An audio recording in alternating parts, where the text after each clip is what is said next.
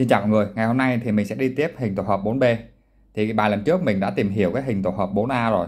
Thì cái khuyết điểm của hình tổ hợp 4A là à, khi mà mình à, tạo ra cặp mắt kiếm mà nó xa băng dài Lúc đó thì mình sẽ đánh cát nghịch để mình đưa nó dần ra cái cặp mắt kiếm từ sát băng dài mình ra gần giữa bàn. Rồi sau đó mình tạo ra một thế trì trô thì nó mới tạo ra được cái hình tổ hợp 1B.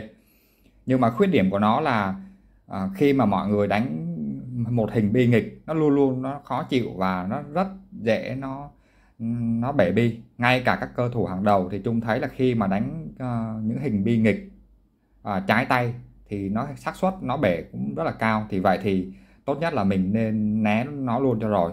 Thay vì là mình uh, anh em mà uh, để ý lúc mà mình tập luyện thì mình cũng chỉ là tập luyện hình bi thuận này chứ ít khi mà mình uh, luyện cái hình bi nghịch nên nó vào trận thì cái xác suất nó bể cao rồi đứt series là dễ lắm. Vậy nên với những cái thế bi mà nó sát băng dài á, thì theo chung là mình sẽ sử dụng cái hình tổ hợp uh, 4B à, có nghĩa là mình sẽ chuyển cái can uh, ờ, thuận thành can nghịch hoặc là từ can nghịch thành can thuận.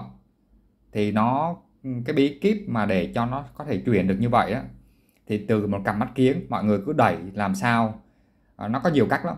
À, à, mình miễn làm sao để cho cái trái bi mà gần băng á, nó sẽ cao hơn so với trái bi xa băng.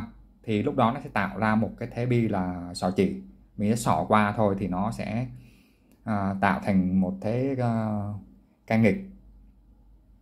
Ở đây thì chung để cho bi uh, gần băng nó xa hơn bằng cách là chung cu lê thôi. Cu lê để cho nó uh, kia nó lên cao hơn sau đó mình xỏ bình thường. Thì đó là cách đơn giản nhất. Còn nhiều ờ, người thì sử dụng những kỹ thuật cao cấp hơn nghĩa là mình tạo ra một thế mà cát 123 xong cái nhịp ba mình trô ra. Mình trô hơi dày một chút xíu để cho cái bi uh, bi sát băng á, nó sẽ đá bi mình sau đó rồi nó sẽ nằm bên trên. Thì nó cũng ra một cái thế là bi sát băng nằm trên rồi mình ra sỏ chỉ lại thôi.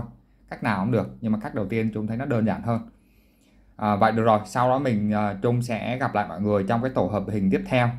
Là từ cái thế bi mà nó nghịch như vậy này làm sao mình sẽ chuyển nó thành một qua góc để nó thành một cái thế bi uh, tổ hợp số 2 rồi sau từ tổ hợp số 2 mình sẽ chuyển thành ken thuận rồi sau đó rồi uh, mình đẩy ken một khúc và sau đó mình sẽ đi qua cái tổ hợp số 3 chứ mình không còn dắt trên đường vạch để mình mình quay lại cái tổ hợp số 4 nha nha mọi người à, nói chung là cái tổ hợp số 4 này chỉ giải quyết những tình huống mà bất khả kháng thôi.